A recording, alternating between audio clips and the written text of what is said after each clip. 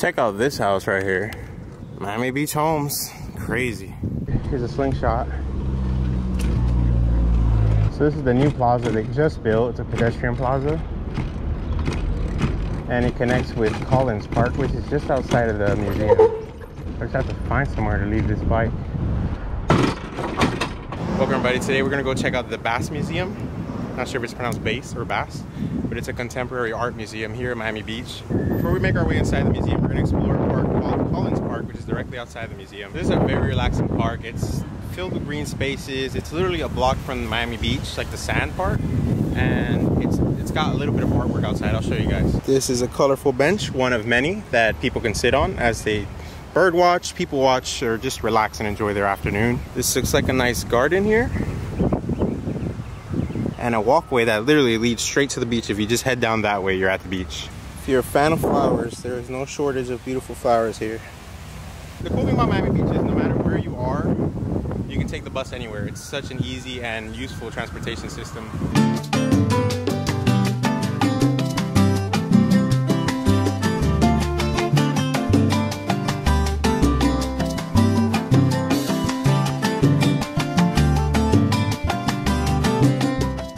They have different art installations out here, which is free to everybody. Just walk around the park. There's a statue. There's a stack of rocks, which you guys saw. There's also this cool thing. Your mama's voice in the back of your head, 2020. And there's actual a speaker here. So I'm assuming it's my mom's voice in the back of my head. You can see the, the wiring and where the speakers are all around. Oh cool, it's in different languages. That thing just said, get your ass up and go. Work hard. Give it two weeks. Give it two weeks. Hope you guys can hear it. We all do what we can. What we can. This right here is a giant tree smack in the middle of the park. One of several that are carved with people's initials, hearts, and names, I'm guessing. There's one that says Luke down there. Got a big heart here.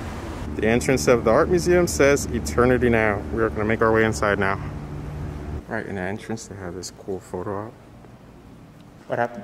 You can walk on it. Oh, like I could stand on it? You can stand on Oh, okay. Thank you. I wasn't sure. it. It's a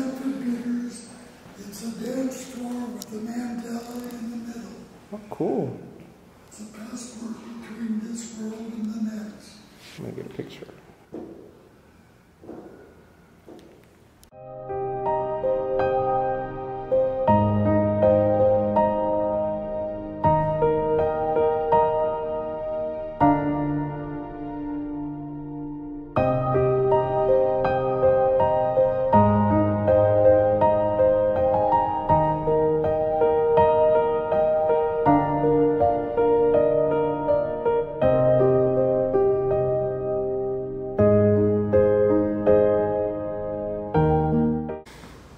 Is like a top-down view of Miami Beach.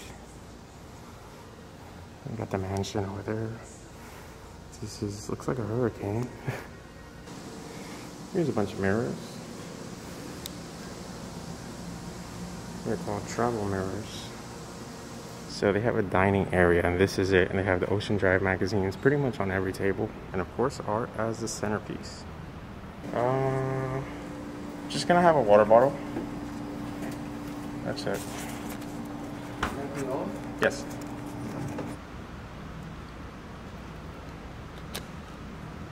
So we just left the museum and it was pretty cool, pretty small. I didn't expect it to have like paintings and stuff. I thought it was just gonna be like modern art, which sometimes doesn't make sense to me. But it was really cool. I was in and out in about like 25, 30 minutes. And uh, I think it's worth it if you can find a way to get in free, which I'm gonna let you in on a little secret on how to get free admission if you're a Bank of America card holder, that is debit or credit card. Every first weekend of the month, you guys have access to a lot of museums, free admission to those, and this is one of them. You can be an EBT card holder, meaning you receive food stamp benefits, or a Miami Beach resident. So they'll ask for your ID as proof, or your EBT card, and you're in free. Otherwise, if you're an adult, it's $15 to get in. We are now going to make our way back to our bike rental and head on home. All right, thank you guys so much for watching. This was a tour of the Bass Museum here in Miami Beach. I think it's a pretty low-key museum, but if you want to know more about it, the link is in the description. I'm gonna go head home now. Don't forget to hit that like button and subscribe. Oh, it's pretty windy. And hit that bell button to be notified when I post a new video. Thank you. You guys will not believe what this bike's basket just did to my camera.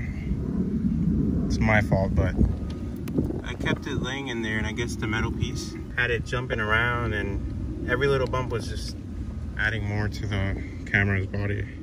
Jesus Christ. Well, smash that like button for the effort, I guess.